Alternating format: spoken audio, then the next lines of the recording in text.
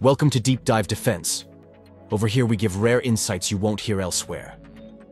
Today's video focuses on a rather unique missile, one which resembles the earlier US Sidewinder variants, but is substantially different and vastly improved in its performance. This missile is Iran's Azarakhsh multi-role short-range air-to-air missile family. The origin and basis for the Azarakhsh missile is the US AIM-9 Sidewinder design, specifically the P variant acquired by Iran in the 1970s. The Sidewinder was gradually improved to the M variant, and up to the extensively redesigned AIM-9X, employed by US air power today.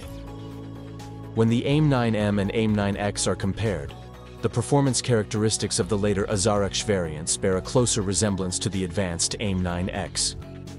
However, the primary objective for Iran was to develop a low-cost missile platform capable of serving many different weapon systems and roles.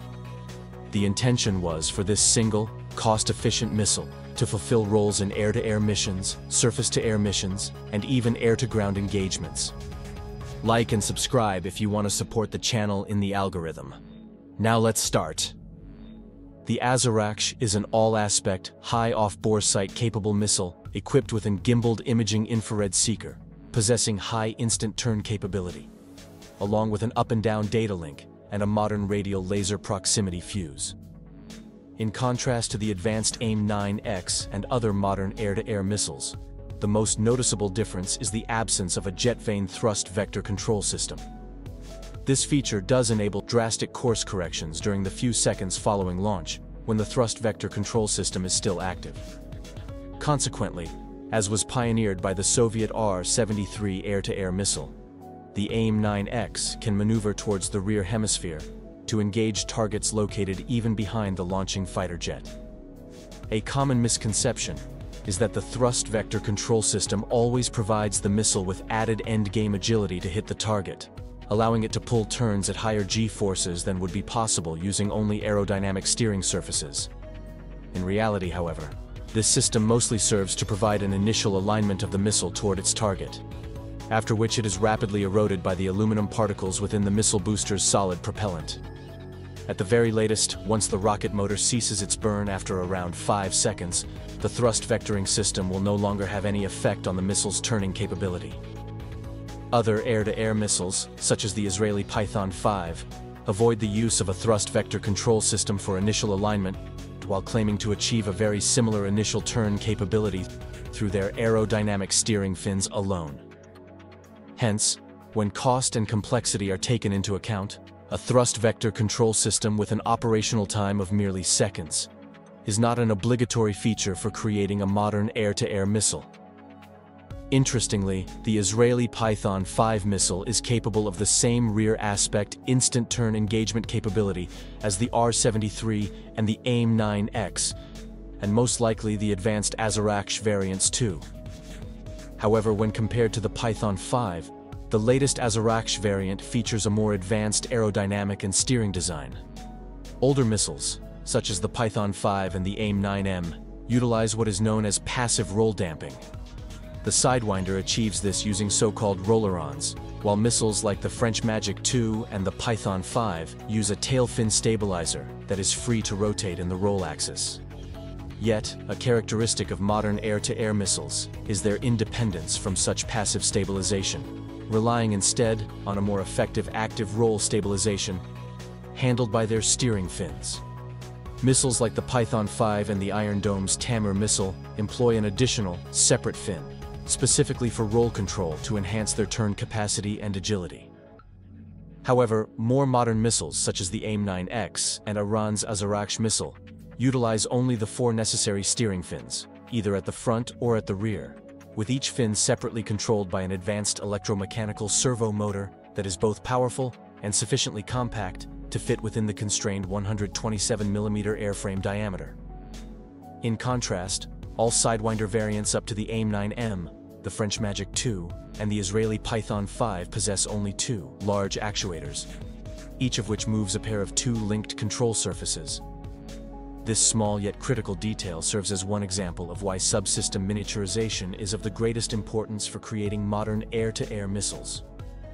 For Iran's Azarakhsh missile, development was enabled not only by mastering miniaturized electromechanical servo actuators, but also by seeker miniaturization, alongside the development of a sufficiently low-cost inertial measurement unit for active three-axis control that fits within the small diameter and is economically viable for a missile in this price category.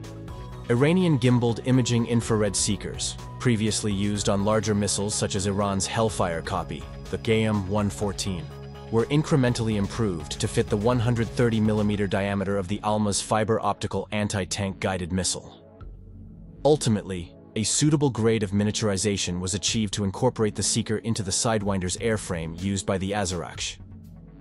One aerodynamic penalty the Azarakhsh has is its round, relatively flat nose tip, which is less aerodynamic than the smaller nose tip of the AIM-9P but similar penalties are common for modern short-range air-to-air missiles that feature a gimbaled, high off-bore sight imaging infrared seeker. The Azarakhsh 1 and 2 variants directly copied the US AIM 9P layout, which was already highly optimized due to the several generations of Sidewinder missile development. However, the subsequent improved Azarakhsh variant departed from the AIM 9P layout.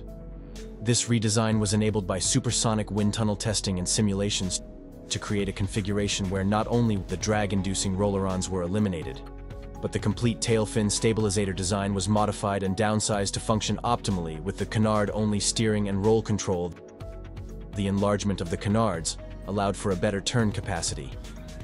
The aerodynamic steering and stabilization design of the Azarakhsh is rather unique because the pitch, yaw, and roll axes are controlled solely by the forward canard fins. The only other well-known missile with such a configuration is the Japanese AAM-3 air-to-air missile, developed in the late 1980s, which possessed very prominent and unusual-looking forward canards.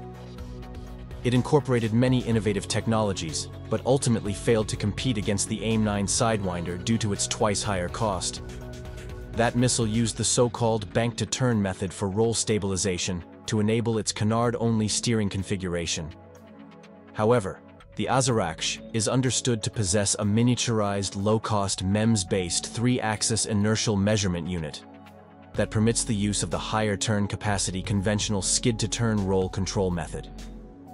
This same inertial measurement unit also enables the missile with a lock-on after launch capability, which, when combined with the missile's up and down link antennas, enables the missile to be launched towards the rear hemisphere.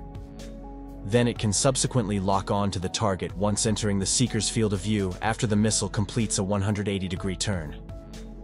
Provided this missile feature is supported by the launching aircraft, even launches from within an internal weapons bay become feasible. Whether this man-in-the-loop guidance capability also enhances the Seeker's robustness against countermeasures, such as flares, is a relevant question. If the seeker incorporates an image recognition algorithm capable of distinguishing the shape of the target from that of a flare, a late lock-on to the target can drastically improve the seeker's effectiveness against such countermeasures. This capability also allows the missile to be employed against ground targets when necessary. An advanced helmet-mounted sight would enable both off-bore sight engagements and support the man-in-the-loop lock-on after launch capability, a field which Iran is currently working on. Given that both the Sidewinder and the Azarakhsh are very light missiles, they require a highly effective fuse and warhead to ensure target destruction. To achieve this, the Azarakhsh is equipped with a high sensor count radial laser proximity fuse, which is believed to trigger a directional warhead for improved lethality. Iran's choice of the Sidewinder platform as the basis for the Azarakhsh originates from its low-cost design and the earlier Fatter air-to-air missile project. This was a 1990s initiative by the Iranian Air Force Self-Sufficiency Jihad Organization to refurbish Sidewinder missiles nearing their expiration date by developing a newly produced motor for retrofit. This came alongside improvements to the infrared guidance seeker, fully digitalizing it. The Fatter one is believed to have been the first Iranian infrared missile with all-aspect engagement capability, one feature of its Azarakhsh descendant improvements continued to the Fatter 2 modification in the 2000s, believed to feature a smokeless motor. Consequently, many components of the Sidewinder had already been reverse-engineered, and subsystems like the motor booster were already in production. These factors established the Sidewinder as the preferred platform for a future all-Iranian air-to-air missile, which would become the Azarakhsh. Whether other air-to-air missiles Iran has access to, like the advanced Soviet R-73, or the French Magic II, or its Chinese copy, the PL-8 with its gimbaled seeker had influence on the Azarakhsh program remains unknown. Cost considerations of those larger and more complex missiles likely meant that their influence remained low. Azarakhsh utilizes the mentioned smokeless propellant, in contrast to the AIM-9P, which is a useful advantage in close air combat. The production of the missile for the Iranian Air Force, and its use by drones of the Air Defense Force, guaranteed a substantial initial order from these two forces. Furthermore, the missile was also incorporated into the Azarakhsh named Short-Range Surface-to-Air Missile System, which further increased production volumes and reduces unit costs. The attractiveness of a single missile type that can be deployed on fighter jets, on drones for both air-to-air -air and air-to-ground missions, as well as surface-to-air missile systems, provides the armed forces with an interchangeable unified weapon that could be utilized by any of these branches under wartime conditions, where such munitions can become scarce. The Azarakhsh SAM system will receive its own dedicated video in the near future. In summary, the Azarakhsh is a modern air-to-air missile possessing all the features characteristic of new generation of short-range air-to-air missiles. Yet, it remains a low-cost weapon, consistent with Iran's doctrine of high cost effectiveness. It can be deployed across many different platforms and represents a viable export product for countries that previously used the US Sidewinder. So that's all for today. If you liked it, give a thumbs up, comment, and subscribe. It really makes a difference in the YouTube algorithm and is a great support to the channel. The Real Enthusiast can become members and given access to exciting membership area material. Thanks for your support and motivation. See you next time.